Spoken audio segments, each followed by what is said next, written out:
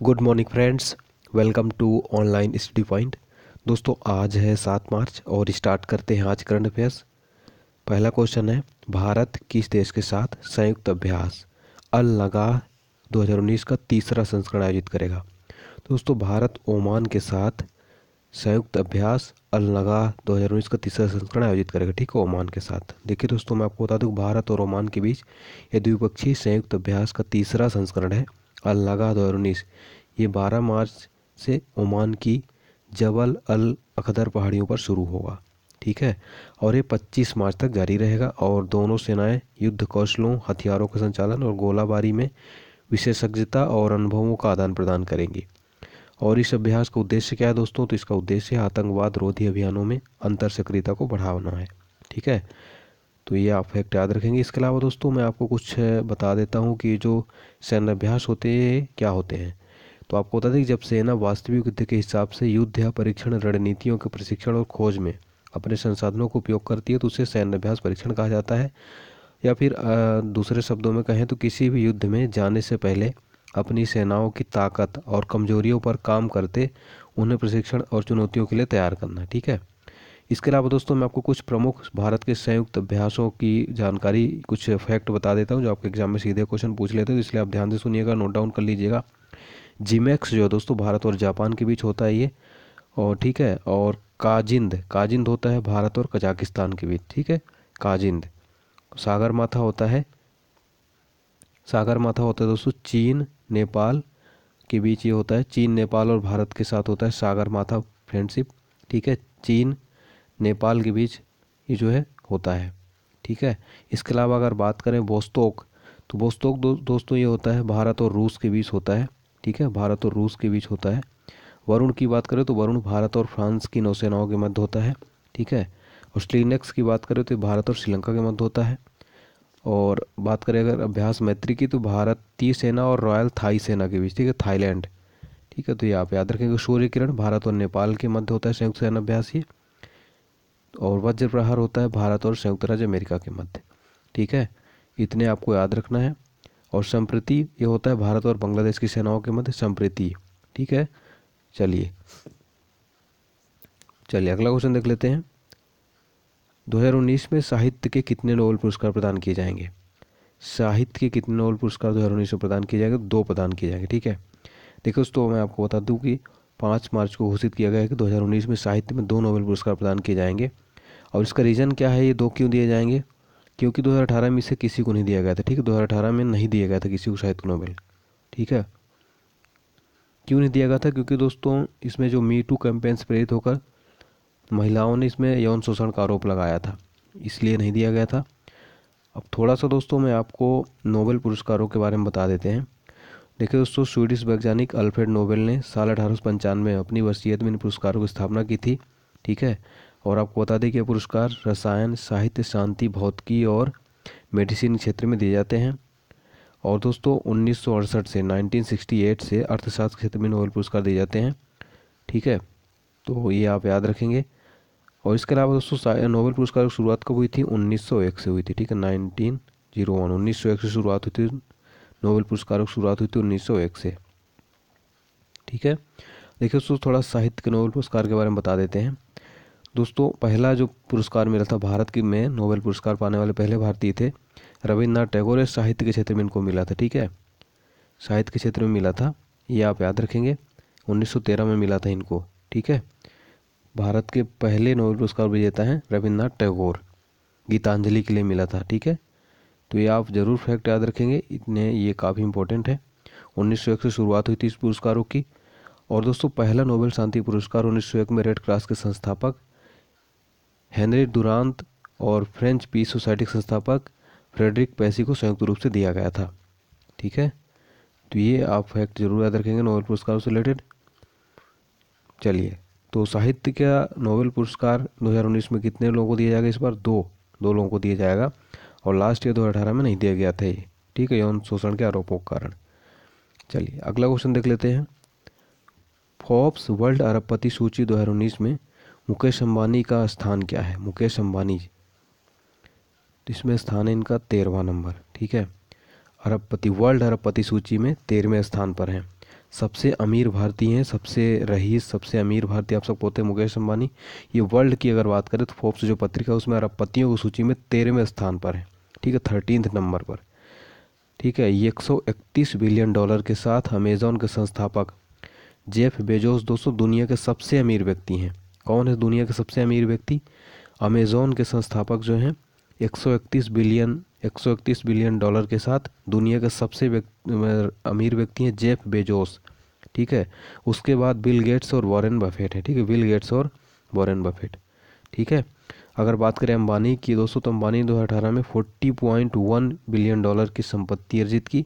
तब वे दुनिया के उन्नीसवें सबसे अमीर व्यक्ति थे और 2019 में वो 50 बिलियन के साथ वो तेरहवें स्थान पर रहे। ठीक है चार तो आप याद रखेंगे उन्नीसवें से तेरहवें स्थान पर पहुँच गए 50 बिलियन डॉलर के साथ। और अगर बात करें दुनिया का सबसे अमीर व्यक्ति तो वो हैं जेफ बेजोस, अमेजोन के संस्थापक। जेफ बेजोस 131 बिलियन डॉलर के साथ, ठीक है 131 और मुकेश अंबानी 50 बिलियन डॉलर दो हज़ार उन्नीस में, ठीक है? तो ये आप, ये इतने फैक्ट याद रखेंगे, बहुत इंपॉर्टेंट है, पूछे आ सकते हैं आपसे, ठीक है? और अगर यहाँ पे मुकेश अंबानी की बात करें तो मुकेश अंबानी के बारे में तो आप सबको पता ही है। ये भारत के सबसे अमीर व्यक्ति हैं मुकेश अंबानी और रिलायंस इंडस्ट्रीज़, इन्हीं की है, ठीक रिलायंस कंपनी, ठीक है इतने आपको फैक्ट याद रखने हैं, ठीक है, और ये दोस्तों मुंबई में है, इनका जन्म कब हुआ था, मुकेश अंबानी का 19 अप्रैल उन्नीस में, ठीक है? तो ये आपको फैक्ट याद रखना है, रिलायंस इंडस्ट्रीज़ के चेयरमैन भी हैं। चलिए, अगला क्वेश्चन देख लेते हैं। एच पी इंक इंडिया ने किस राज्य के साथ समझौता ज्ञापन पर हस्ताक्षर किए हैं?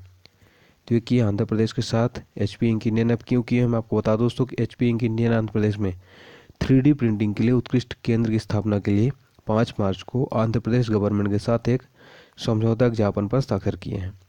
और दोस्तों, यह समझौता जो है आंध्र प्रदेश नवोन्वेष समाज और आंध्र प्रदेश आर्थिक विकास बोर्ड के बीच हुआ है। ठीक है?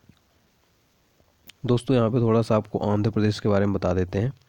ठीक है, आंध्र प्रदेश की बात हो रही तो आंध्र प्रदेश की कैपिटल अभी क्या है?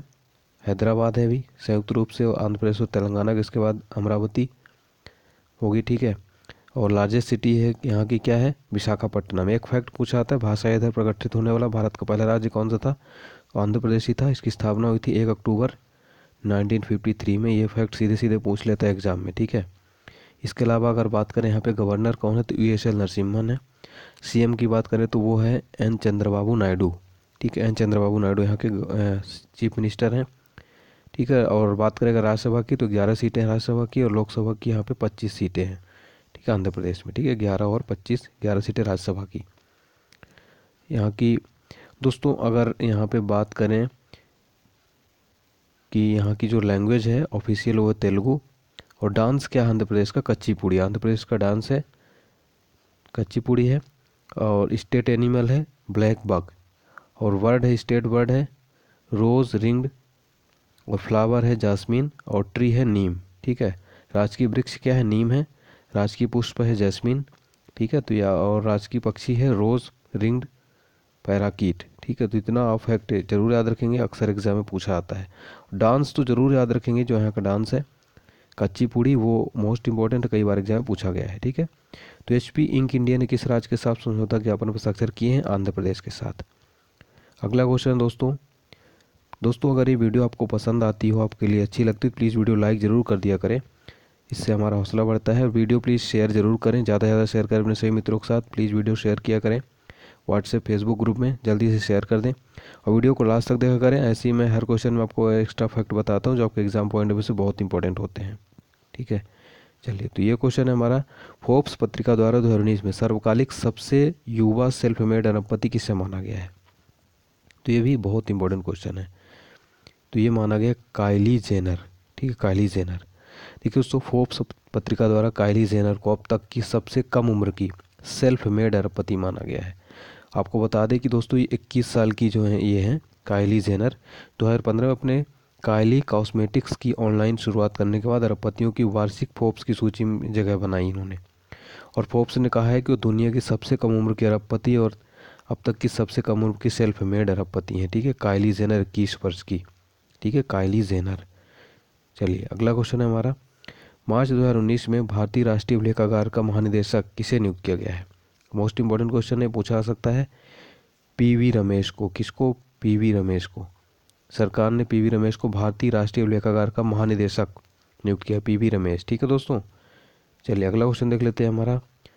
पाँच मार्च दो हज़ार उन्नीस को प्रीताचकर आर्किटेक्चर पुरस्कार से किसे सम्मानित किया गया है? तो पुरस्कारों से भी रिलेटेड क्वेश्चन पूछ लेता है। तो ये किया गया है अराता इजोजकी को। ठीक है? ये आपको बता दें कि जापानी वास्तुकार हैं ये। इनको पृथचकर आर्किटेक्चर पुरस्कार सम्मानित किया गया जिससे अंतर्राष्ट्रीय स्तर पर यह अंतर्राष्ट्रीय स्तर के क्षेत्र में सर्वोच्च सम्मान के रूप में माना जाता है। ठीक है? तो आप याद रखेंगे। और ये पुरस्कार उन्नीस 1979 में, ठीक है? 1979 में स्थापित हुआ था। प्रत्येक वर्ष जीवित वास्तुकार या आर्किटेक्ट को सम्मानित करता है, जिसका कार्य प्रतिभा और दृष्टि को प्रदर्शित करता है। ठीक है? आपको बता दें दोस्तों कि ये जो अराता इजोजुकी हैं, अपने अभिनव डिजाइनों में पूर्व और पश्चिम के साथ लाने का श्रेय दिया है। ठीक है तो ये जापानी वास्तुकार हैं। अराता इजोजकी, इनको प्रितर्जकर आर्किटेक्चर पुरस्कार से सम्मानित किया गया है। किस कंपनी ने पाँच मार्च को एक नया ऐप, बोलो ऐप लॉन्च किया है? बोलो ऐप। तो ये किया है किसने गूगल ने, बोलो ऐप। ठीक है, गूगल ने दोस्तों एक नया ऐप, बोलो ऐप लॉन्च किया जिसका उद्देश्य है प्राथमिक स्कूल के बच्चों को हिंदू अंग्रेज़ी सिखाना है। ठीक है, और इस फ्री ऐप को सबसे पहले भारत में लॉन्च किया जा रहा है, जिससे गूगल की स्पीच रिकॉग्निशन और टेक्स्ट टू स्पीच तकनीकी का उपयोग किया गया है। ठीक है? तो ये आप फैक्ट याद रखेंगे। और थोड़ा सा गूगल के बारे में जान लेते हैं। गूगल के बारे में तो आप सबको पता ही होगा। इंटरनेट से जुड़े हैं तो ठीक है। तो गूगल एक अमेरिकन मल्टीनेशनल टेक्नोलॉजी कंपनी है। वर्ल्ड की सबसे प्रसिद्ध कंपनी है। गूगल दोस्तों, इसकी स्थापना कब हुई थी? गूगल की स्थापना हुई थी चार मार्च उन्नीस में। 1998 में हुई थी। इसके फाउंडर्स कौन है? गूगल्स तो आप लोग सभी यूज़ करते गूगल करते होंगे तो आप आज जान लीजिए। लैरी पेज लैरी पेज और सरगेई ब्रिन इसके फाउंडर हैं, ठीक है? और इसका हेडक्वार्टर कहाँ पे है? कैलिफ़ोर्निया यूएसए में है, ठीक है? इसका हेडक्वार्टर है। सीईओ e कौन है? सबसे महत्वपूर्ण है सीईओ e यानी चीफ एग्जीक्यूटिव ऑफिसर हैं। भारतीय मूल के ही हैं ये, सुंदर पिचाई, ठीक है? सुंदर पिचाई हैं। तो ये आप फैक्ट गूगल से रिलेटेड याद रखेंगे, ठीक है दोस्तों? चलिए, अब देख लेते हैं लास्ट वीडियो का आंसर भगवान महावीर अहिंसा पुरस्कार के प्रथम प्राप्तकर्ता कौन होंगे?